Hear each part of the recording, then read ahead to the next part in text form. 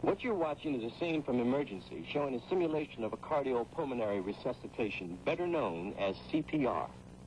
When cardiac or respiratory arrest occurs, and it can happen to anyone, anywhere, and at any time, permanent brain damage can begin after four minutes, and death can occur after six minutes.